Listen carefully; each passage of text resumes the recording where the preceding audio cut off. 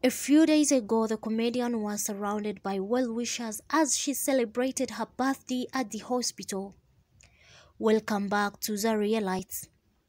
Ada battled kidney disease before her death, sought for forgiveness to the people that she had offended, including Rita Edochie and controversial prophet Odumeje.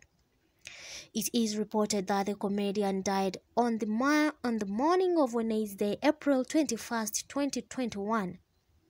Ada Jesus battled with kidney disease for many months before her death. So many condolence messages still pouring in for the family of Ada Jesus.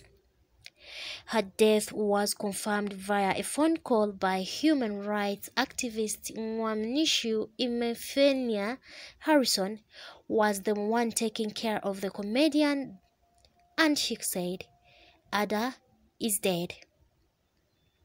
Thank you for watching.